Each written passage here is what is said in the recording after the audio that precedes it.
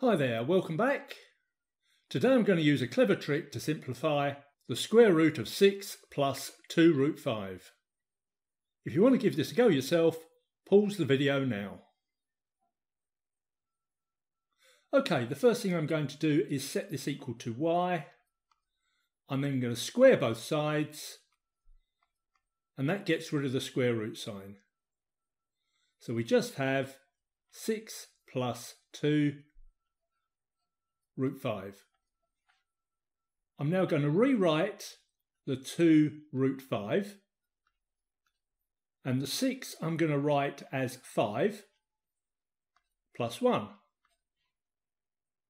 I'm now going to take the square root of the 5 and square it.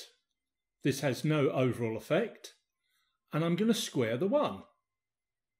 Again, no overall effect. So why have I done all this?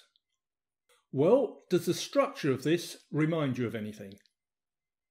Well, it should remind you of the expansion of a plus b all squared. Because this equals a squared plus 2ab plus b squared. And if we set a equal to root 5 and we set b equal to 1, then plugging these values into this equation gives us this.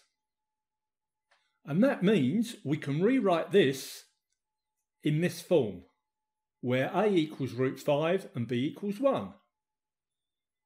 Therefore, y squared equals root 5 plus 1 all squared. And that means that y equals 1 plus root 5. And that is our answer. Did you get it? If you're wondering why this isn't plus or minus root 5, that's because negative root 5 would make y negative, and if y was negative, then the square root of 6 plus 2 root 5 would have to be negative, which is impossible. So, an interesting problem and a nifty solution. Hope you enjoyed that. Watch out for the next video, or if you've got time, why not watch one of these? See you tomorrow.